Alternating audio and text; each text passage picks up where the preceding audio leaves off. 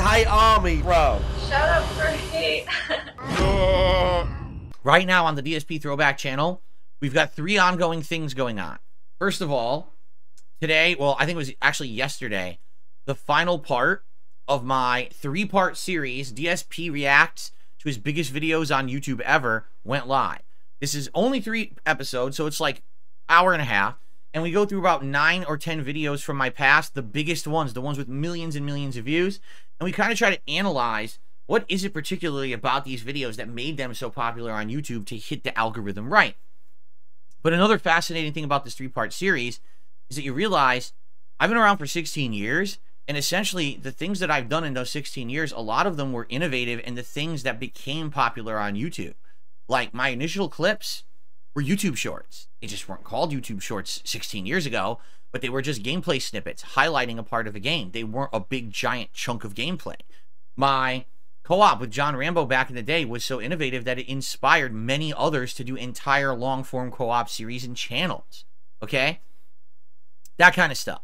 So, give it a look. I think you'll like those three videos. The other thing that's currently going on is on Sunday night, I did a stream, a retro react stream to the Walking Dead Telltale series, uh, season one, episode one. It went really well on the stream. People were engaged. They had a lot of fun with it, and they want to see it continue. So, basically, I would like you to give it a look if you're interested in narrative-based games, especially if you never saw this playthrough 12 years ago. Uh, people had a great time with it, and it's a five-parter. Two parts were live. I think a third part goes live tonight. It's every night at 10 p.m. A new part goes live on the channel, so it'll be up to five by Thursday night. Okay. Um, but the other big thing, and this one I'm proud of, I'm excited for, and I hope you will check out Fallout 3, my original 2008 playthrough, my first ever RPG playthrough on YouTube that got it started and got people to see me want to play more long form games is now live. Part one, that is, is live on DSP Throwback. It went live this morning at 10 a.m. This features widescreen visuals instead of the original crushed sideways visuals, full 1440p HD, full 60 frames per second, more sharpness in the text so you can read it better, although admittedly, the camera has an autofocus issue, and I don't think that I fixed that issue for a while in the playthrough. So you're going to notice in the many first parts, the camera focuses and unfocuses and focuses again. I can't fix that. That's obviously because my equipment, I was so primitive back then, but that does get better in time. Um, 30 minute parts instead of 10 minute parts. Proper thumbnails and proper titling of the parts to make it digestible and understandable. And this will be going into a new playlist. And I think it's going to be awesome to finally re-experience this playthrough uh, in a modern way because the original playthrough a lot of people really really like to this day and still rewatch but my god it's harder to watch every time it's so outdated um, this will be neat to re-experience it in a different way. So I would love you to watch this first part and give me your thoughts. So, uh, many have already left comments on the video saying, "Wow, can't believe it that it's back and it looks like this." I I agree. It blew me away when I saw this video. Keep in mind, this is a lot of work. My editors are working a lot to get this playthrough up to snuff for a modern playthrough. It's not perfect, but my god, the improvements are huge. Please let me know what you think. And I will urge you, please, if you like this, please support that channel in some way, whether becoming a member or doing a super thanks on a video that allows it, or leaving a tip. The link, tipped link is in the description of every video there. Um, I'm basically trying to make this viable. I'm trying to make that channel a long-term success. Right now, it's rough. I'm making a dollar a day on ad revenue, and pretty much all I'm making on the channel is based on what I make on streams on the retro replay stream or retro react streams, excuse me. Uh, every once in a while, I do get a super thanks, and that's much appreciated to those who've done it.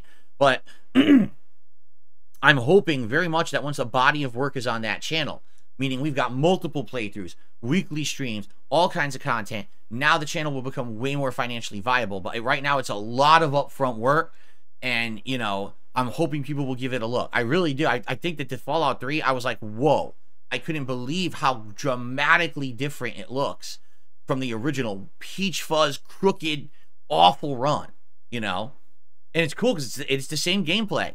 It's the same commentary. I, it's not someone else replaying the game like me. It's the real footage. It's just been had a lot of work done to it you know?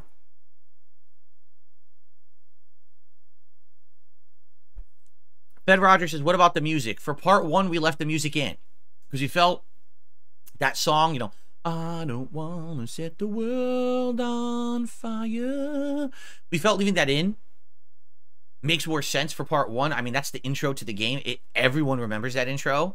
So it got claimed and I've disputed it. I don't know if I'm going to win the dispute. It's hit or miss on YouTube. If I win it, then I'll actually get some ad revenue on the video. If I lose it, then some other company owns the rights to my video.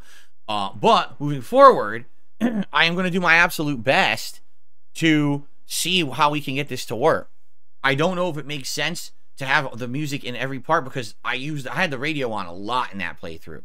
So it could be like every video gets claimed. And obviously I don't want videos getting claimed. Claim is okay, blocked is bad. I don't want it muted or blocked. What was the point of putting all the effort into redoing the playthrough if the videos are muted or blocked, right? claimed, well, I'm not going to make ad revenue on it. Well, right now I'm not making a lot of ad revenue on it anyway. It's not a huge deal. You would think over time maybe the videos would get more traction and I would like to actually make money on my work over time but it's not possible if the videos are claimed.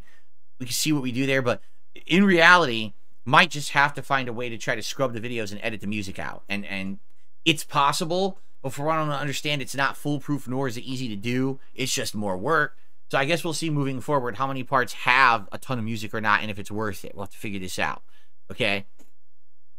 So anyway, all this is going on right now on DSP Throwback. The three part, you know, reacting to the biggest videos ever series the five part Walking Dead Season 1, Episode 1 series, and Fallout 3. By the way, yeah, Final Fantasy 13 is continuing and it's going to be alternating back and forth with Fallout 3. So, I mean, there's a million things going on on that channel. It's, it's There's so much stuff. There's like three, four videos a day of new stuff on that channel. It's really cool. I like having that much content on the channel. It makes it exciting, right? Um, but I'll hope you watch it because, like I said, the channel doesn't get a lot of traction. No exaggeration. Every video gets a couple hundred views, basically. That's it you know, I think eventually over time it might get more traction if people are interested and want to check out retro stuff. But we got to get to that point. I think like the more, like I said, it's about a body of work.